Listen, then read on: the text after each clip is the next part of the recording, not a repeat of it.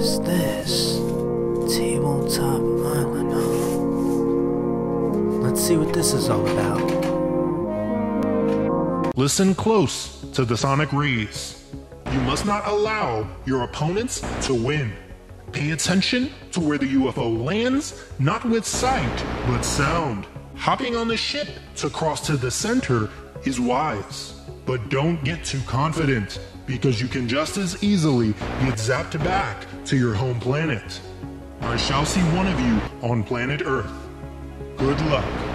Welcome to Tabletop Island. I'm Renardo, your host, and today we're going to be taking a look at the vintage board game Sonic UFO. This is by Waddington Games and came out in 1979. Yeah, this is a pretty old one, but it is unique and it has kind of that UFO alien um, outer space vibe to it, and I do enjoy that theme, so I had to take a look at this. But without further ado, let's first take a look at the components. So first you have this really nice board here. It's very simplistic, not a whole lot going on here. You have these little circular pieces that are numbered. We'll get into why that's important, but it goes from 1 to 12, much like a clock. Then you have these nice uh, symbols here on each corner for the planets. That is going to be your starting zones for the different color depending on what color pawn you have. Uh, Speaking of color pawns, you have these little mini UFO ship pieces here, which are really well made, solid plastic. They can stack on top of each other, and yes, that'll be important. Um, but depending on what color you have, is where yours pieces will start. Um, you have green, blue, yellow, and red, and the goal is to get your ships to planet Earth, which, yes, in the center of the board is planet Earth. So you don't end up moving your little pieces on those number sections, you actually move them across these red sections. Um, and you eventually want to get over to those yellow sections, which you have to land by exact count to the ones with the arrows to get to Earth. So, not just any spot can get you there. And yes, those little circle spots do have a real big purpose because you got this really, really nice UFO piece here. Um, this is the main mothership, and it actually is electronic. It uses 9 volt battery, which, hold up. Really? A 9 volt battery? Are you kidding me? Why are they still using this? My smoke alarm uses a 9 volt battery. I'm never gonna have these laying around. I would rather pay to buy a double A battery every single time I play the game than get a 9 volt battery because at least I can have one of those laying around the house. But a 9 volt? For real? Rant over. So it takes this 9 volt battery, and once you pop it in there, because you'll actually see has the styrofoam piece there, which is important to keeping it um, stationary, um, but it starts beeping. Yes, and it doesn't stop beeping, which if you look at the bottom of the um, kind of UFO piece here, you see this little dangling kind of um, rod piece. That actually pushes down um, when laid flat onto the board and cancels the noise. Don't go messing around with that because you can break it if you push it in too far. Um, so be careful with electronics; they're very fragile. So once you put in the battery, yes, it'll make a lot of noise and get annoying, but then you drop it down onto the board. You start it off on in the game uh, from the center, uh, and then a- after that, we'll, we'll, get into that. Um, but the sound stops when it's laying. When you lift it up, it makes sound. So this will be crucial in a moment, but I don't want to get ahead of myself. Then you have these other two little pieces here made of cardboard. One being the mask that covers over your face, and the other being this like lightning strike piece, which is super cool.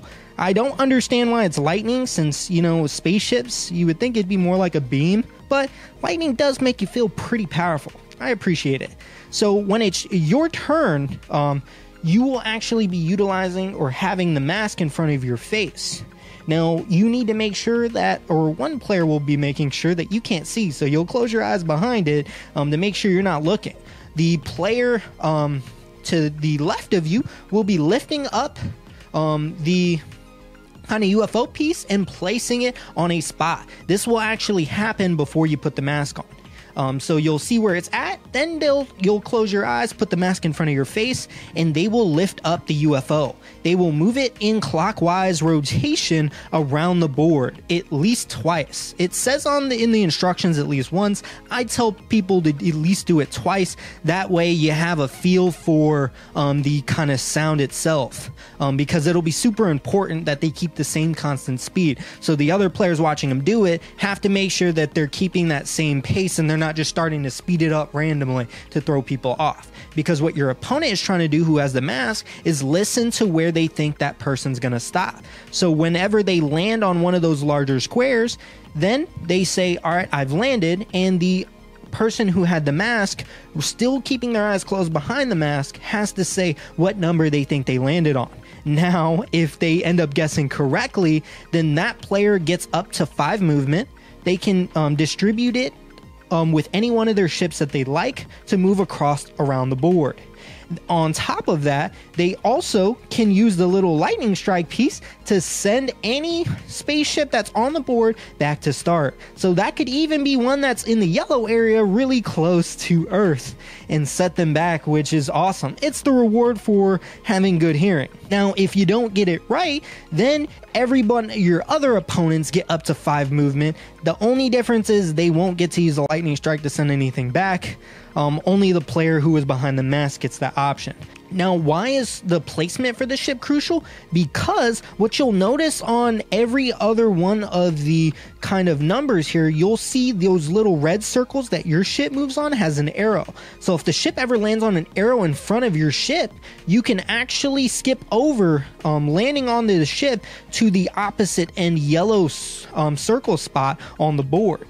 Why is that important? Because that gets you onto that little section to get you to Earth. Because you need to get to the yellow section that has the arrow to get to Earth.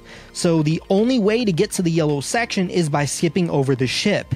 Now, remember when I mentioned that you can have um, these pieces stacking, this is another element of the game. If you move around the board and you land on a spot with another opponent, you end up going stacking yourself on top of them. Now, while you think, wow, that just makes everyone move together, it does not. In fact, the player on top is the only one who can move. So you can actually freeze opponents' um, kind of player pieces, which can really uh, set them back, especially if they're almost going to win. That'll be the time where you probably do something like that.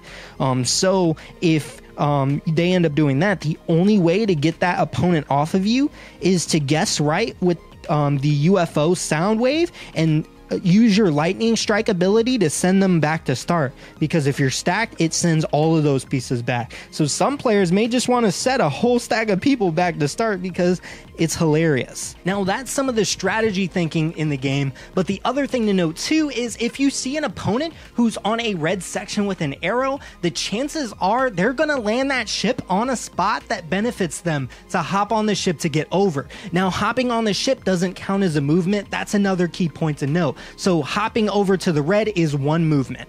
So you, don't count the ship essentially. So knowing that they may be trying to set themselves up, so prior to covering the mask, you know where the ship starts at. You look around the map and you say, "Oh, it looks like one of their spots is in front of an arrow, or maybe two of them." You have a higher chance of guessing it right by listening and saying, "Okay, it sounded like it was closer to nine, but because they have a section here um, that is on the three spot, that might be the one that they're going for.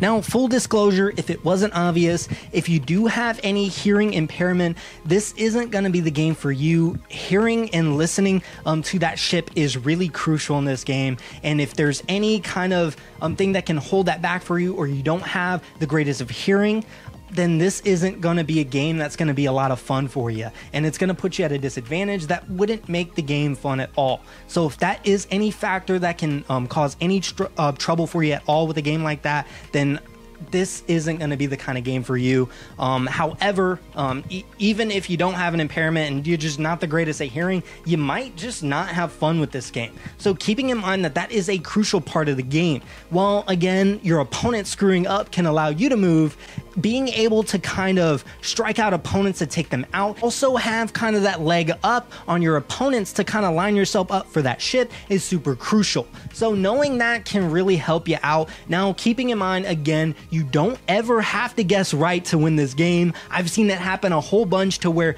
no one guesses right ever, but they won just simply by having the proper placement which works out for you. And trust me, you as placing this ship, you really don't want them to guess right because they actually also, which I did forget to mention this, can place the UFO ship on any spot they want, which can benefit them yeah, pretty tricky, huh? but that's honestly all I have for you guys today. It's easy to teach, fun for the whole family, and honestly, if it sounds like the kind of game for you and you enjoy the theme, then I do recommend it. It was a whole lot of fun to get. I actually paid about $10 um, with shipping added to that, so it probably came to about $30 for this board game. I got it really cheap. again, if you can get a good deal on it, then I recommend it if this sounds like the kind of game for you. But that's all I have for you guys today. If you're interested in notifications, there is a bell up there somewhere or down there. Please like, comment, subscribe. I appreciate any feedback. I'm trying to make these videos more and more outrageous, and with your guys' help, I have been doing so. Monday, regular board game reviews. Wednesday, weekly update slash talks. And then on Fridays, my vintage board game reviews. That is all I have for you guys today. I'll see you guys next time.